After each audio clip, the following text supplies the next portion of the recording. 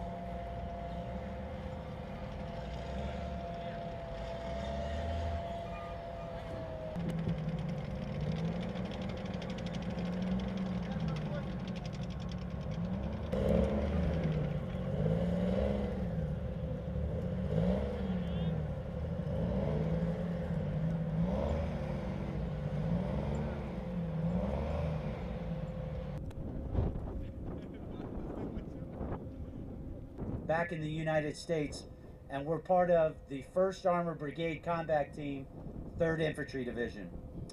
For this mission here for Atlantic Resolve, our task force has a very unique task organization. In addition to our two tank companies, we also have a light cavalry troop that is stationed up in Estonia, and here in Lithuania, we have Eagle Troop, a infantry uh, company uh, with a tank platoon attached to it, serving here in Lithuania. Very quickly, I'd like to describe to you all the tactical scenario that we are going to execute that you guys will observe. As I see it, this firing demonstration has been an outstanding training opportunity for our tank platoon. And for this tactical scenario, our tank platoon is attached to the Algirdas Battalion, part of the Iron Wolf Brigade.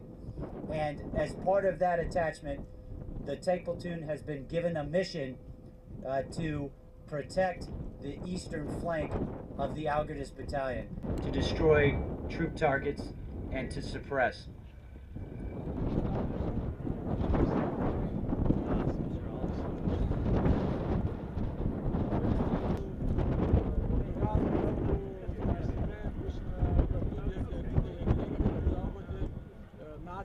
NATO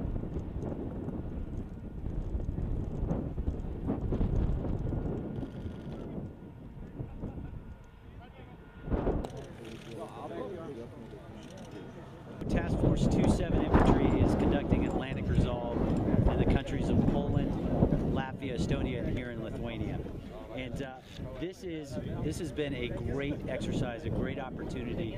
It's we're calling it a M1 platoon firing demonstration where the four tanks that you can see behind me um, have the opportunity, have had the opportunity to do a full-up live fire exercise. Uh, there's no doubt that this tank platoon uh, is ready. Uh, we were fortunate in that uh, over the past year and a half, we've done a lot of training as a battalion, this tank platoon included.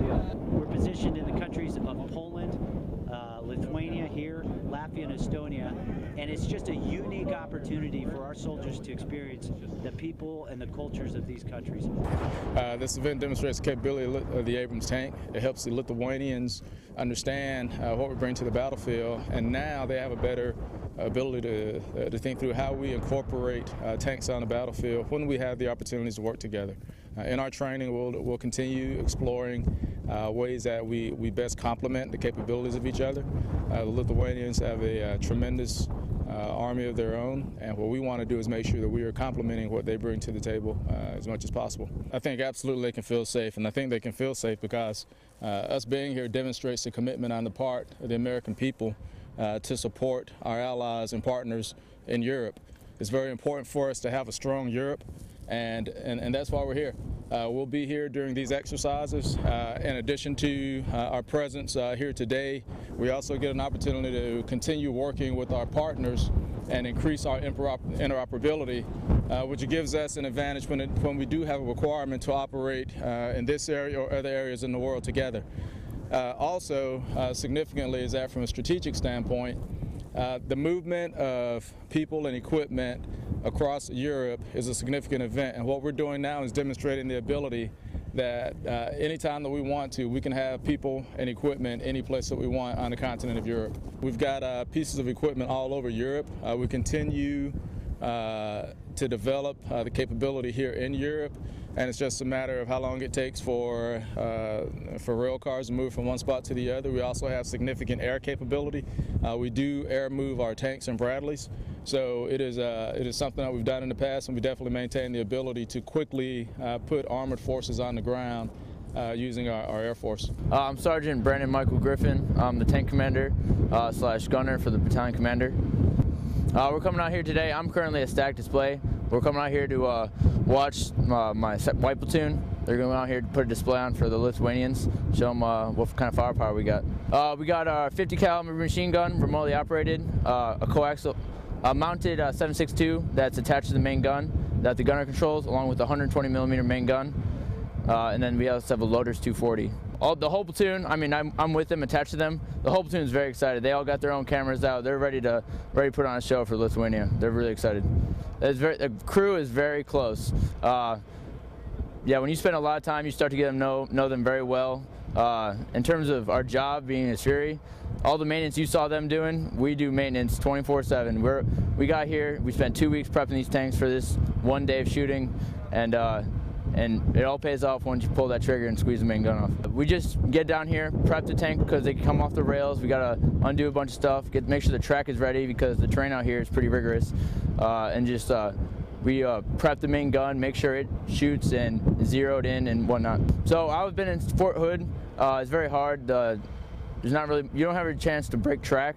So like over here, the ground is very soft. There's a bunch of tree stumps out here from when the Lithuanians cut down the trees. Uh, so if you turn too aggressively, you might throw a track. We've had a couple guys come around trying to look at the tanks, uh, but we're over in Rukla where we're uh, where our main barracks is, I guess.